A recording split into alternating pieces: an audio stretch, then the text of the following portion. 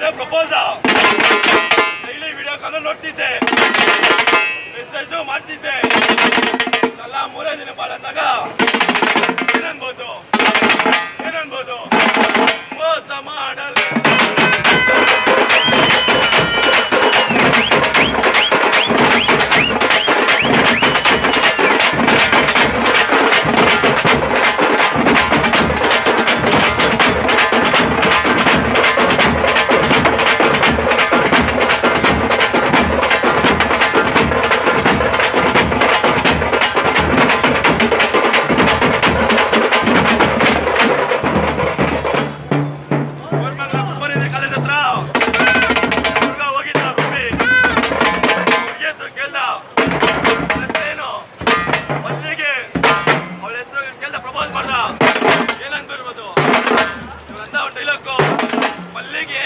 我给你讲讲。